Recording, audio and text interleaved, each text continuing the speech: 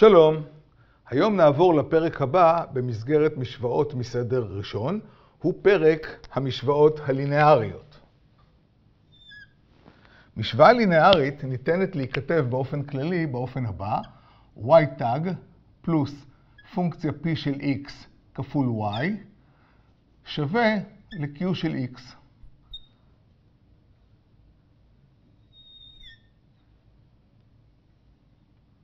מדוע סדר ראשון? פשוט, מפני שהנגזרת הגבוהה ביותר היא הנגזרת הראשונה. אם כך, מה נשאר לנו אה, במשוואה? y ללא נגזרת, ופונקציה אחרת של x. ומה מתחייב מהגדרת המשוואה הלינארית כפי שהגדרנו באחד הסרטונים הראשונים? שהקשר בין הפונקציה לבין נגזרותיה לבין, פונק, לבין פונקציות אחרות של x יהיה קשר של חיבור ומכפלה פשוטה, אין קשרים מורכבים מזה. נתחיל לטפל בסוג הראשון של משוואות הומוגניות, והוא הסוג שבמסגרתו Q, האיבר באגף ימין, הוא 0. Q של X הוא 0 באופן זהותי לכל הקבוצה הזאת. למשוואה מהסוג כזה קוראים המשוואה הלינארית ההומוגנית. משוואה ההומוגנית. אני מזכיר שב... לפני מספר סרטונים דיברנו על משוואות הומוגניות במובן אחר, הגדרנו פונקציות הומוגניות והגדרנו משוואה הומוגנית. כאן ההגדרה היא שונה, וצריך לשים לב, אנחנו מדברים על משוואה הומוגנית במסגרת משוואה לינארית מסדר ראשון. מדוע זה נקרא הומוגנית? מהסיבה הפשוטה שכאשר Q שווה ל-0, אנחנו נמצא כאן רק את Y תג ואת Y. רק Y תג ו-Y. מה אין לנו? אין לנו פונקציה של x ללא y.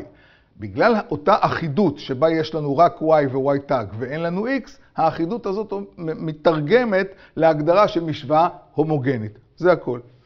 נלך וננסה לפתור את המשוואה הזאת. נכתוב y תג פלוס p של x כפול y שווה ל-0.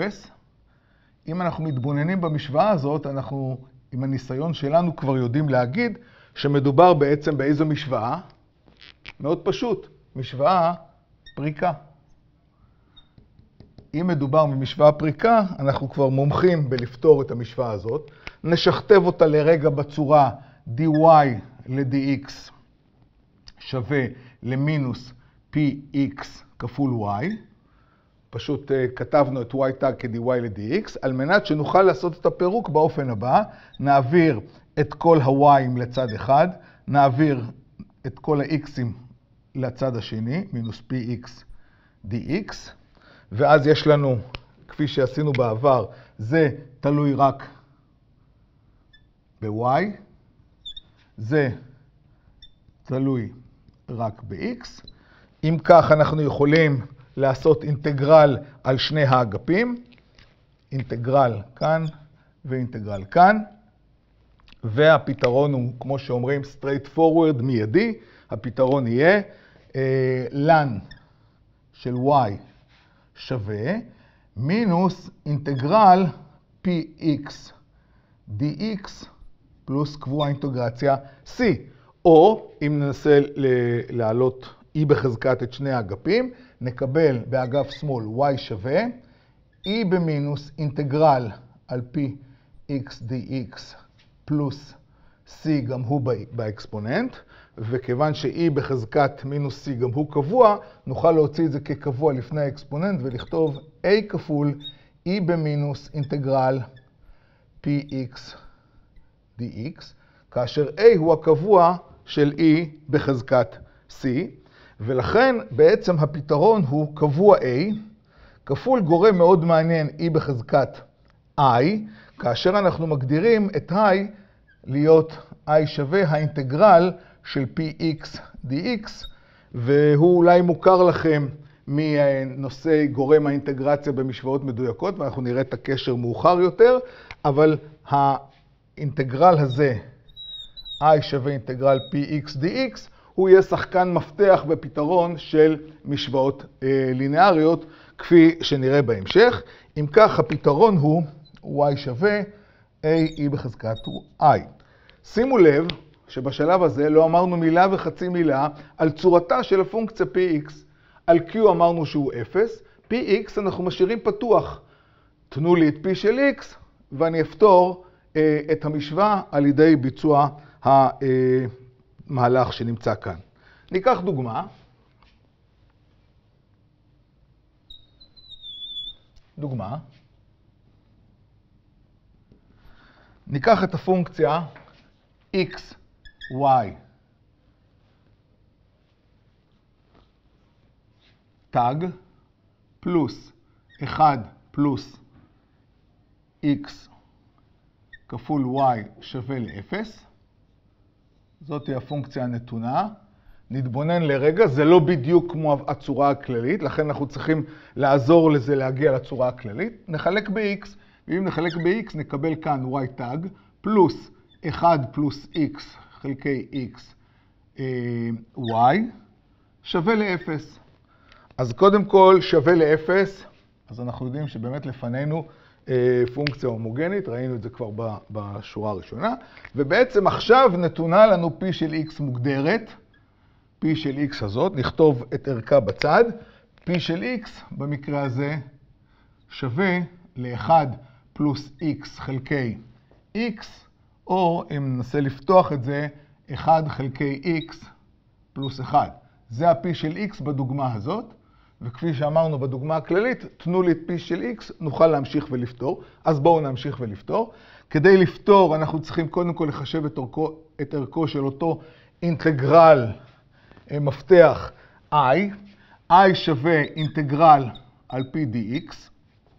זה יהיה שווה במקרה הזה לאינטגרל על 1 חלקי x פלוס 1 dx. כאשר לקחנו את הערך מכאן, מדובר באינטגרלים מאוד מאוד פשוטים, 1 חלקי x זה ln x, אינטגרל של x זה x, אינטגרל של 1 זה x, אז יש לנו ln של x פלוס x, ועכשיו אנחנו צריכים להתקדם ולחשב את e במינוס i. אני רואה שכאן טעיתי, צריך להיות כמובן מינוס i, אה, אז אה, e במינוס i יהיה שווה. ל-e במינוס ln x פלוס x, ועכשיו נ, נ, נתרגם את זה. זה יהיה e במינוס ln x כפול e במינוס x. e במינוס ln x e ו-ln מבטלים אחד את השני והמינוס גורם לחזקה להיות שלילית, ולכן לפנינו x במינוס 1 כפול e במינוס x, או בצורה פשוטה, e במינוס x חלקי x. ולכן עכשיו נארוז את הפתרון באופן המלא, y שווה למה? ל-a כפול e במינוס i. a זה אותו קבוע שאמור להיקבע בהינתן תנאי קצה, תנאי התחלה, כרגע אין לנו אותו, אז כל מה שיש לנו זה a כפול e במינוס i. a כפול e במינוס i, אנחנו לוקחים את הערך מכאן, יש לנו a כפול e במינוס x חלקי x, זהו uh, הפתרון של הדוגמה הזאת. כאשר קיבלנו אותו לאחר ביצוע שני שלבי המפתח הללו, i ו-e במינוס i. בדרך כלל, כאשר אנחנו מקבלים, אה, פותרים משוואה, כדאי תמיד לעשות בדיקה ולראות שזה עובד. כדי לעשות את הבדיקה, בשלב הראשון אנחנו צריכים לחשב את מה? את הנגזרת. מכיוון שבמשוואה מסדר ראשון יש לנו נגזרת ראשונה, אז רק את הנגזרת הזאת. נחשב אותה כדי להציב. אם כך, אחרי שקיבלנו את הפתרון הזה, ה-y תג יהיה שווה ל-a, שזה מקדם שנשאר, וכאן יש לנו נגזרת של מנה של e במינוס x חלקי x.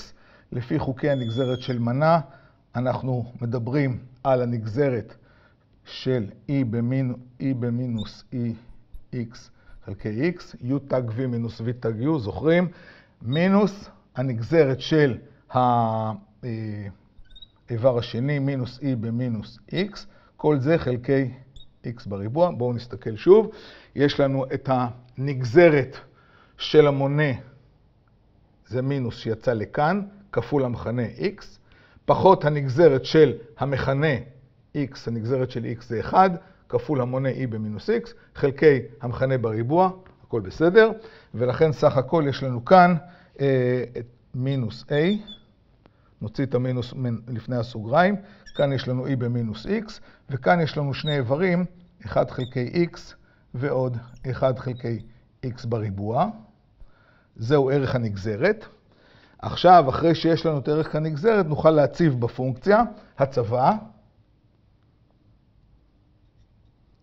נציב במשוואה באופן הבא. המשוואה אומרת לנו x, y תג, פלוס 1 פלוס x, y. תמיד כדאי להציב במשוואה המקורית לפני שנגענו בה, כדי אה, לוודא שלא טעינו באיזשהו שלב טריוויאלי של המהלך. אז x כפול y תג פלוס 1 פלוס x, y שווה, בואו נציב את מה שיש לנו, זה יהיה שווה כך למינוס a, אנחנו לוקחים את זה מכאן, מינוס a, מכפילים את, את זה ב-x מכאן, כפול e במינוס x, 1 חלקי x פלוס 1 חלקי x בריבוע, לקחנו את כל הערך של y תג, כפלנו אותו ב-x, ב-x הזה, כפלנו אותו כאן וכאן, ועכשיו ניקח את האיבר הבא, פלוס 1 פלוס x כפול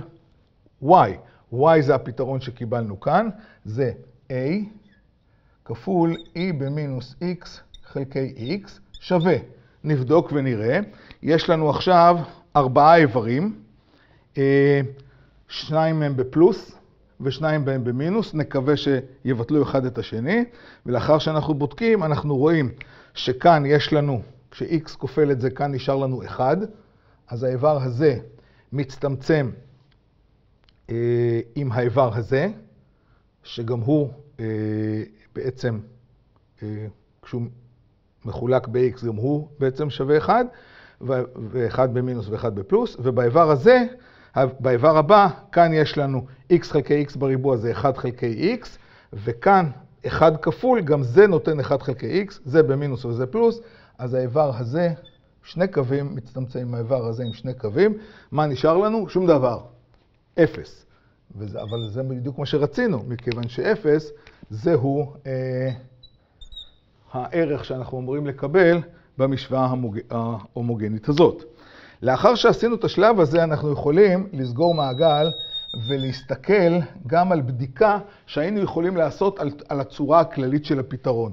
אם היינו הולכים לצורה הכללית שבפתרון, וגם פה מחשבים את הנגזרת ומציבים אותה, היינו רואים באופן הבא את הדבר הבא, נכתוב כאן בדיקה, ואנחנו רואים ש-y תג שווה ל-a כפול e במינוס אינטגרל px dx כפול הנגזרת הפנימית. מה הנגזרת הפנימית של הביטוי הזה? הנגזרת הפנימית של uh, הביטוי הזה זה מינוס p, שיורד מהאינטגרל, כי uh, זה אקספוננט, אז הנגזרת שלו זה הוא עצמו כפול הנגזרת הפנימית. הנגזרת הפנימית של הדבר הזה זה בדיוק מינוס uh, p, ולכן אם אני חוזר לנוסחה הכללית, או למשוואה, y תג פלוס py, יש לי בעצם את y תג שכרגע חישבתי שזה a כפול e במינוס אינטגרל px dx כפול מינוס p, ועוד האיבר הבא מהמשוואה, p מהמשוואה, כפול y שחישבנו כאן, שזה a כפול e במינוס אינטגרל px dx שווה, אז אנחנו רואים פה עוד יותר פשוט ממה שראינו בדוגמה הספציפית. יש לנו בעצם אותו איבר כאן וכאן. אה, כאן בסימן, אה, שניהם נכפלים ב-p, כאן זה p שירד מהאינטגרל, כאן זה p שהופיע במשוואה. ה-p שירד מהאינטגרל הוא בסימן מינוס, שמבטל את ה-p מהמשוואה בסימן פלוס, ולכן סך הכל גם זה מביא אותנו לאפס, וזה אומר שהצורה הכללית גם היא מבטיחה לנו אה, את הפתרון הנכון. עד כאן לגבי משוואה מסדר ראשון, לינארית, הומוגנית. בסרטון הבא אנחנו נעסוק במשוואה כזאת שאיננה הומוגנית, לאמור מה קורה כאשר Q כללי שונה מ-0. להתראות בסרטון הבא.